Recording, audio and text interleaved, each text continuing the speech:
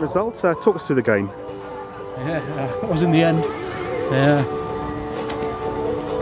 to be honest with you, I didn't think it was going to come. We missed a lot of chances again. Uh, but we kept plodding away. I said at half time if we um, if we keep passing the ball, these will tire. And I think they did, to be honest with you. Um, the goals would come, and I think once we got the, equaliser, um, went, you know, went ahead. I think that was it. Uh, a lot fitter, uh, passed the ball a lot better. But to be fair, Murton's done very, very well tonight. I think, I think if they get that side out, they'll go places.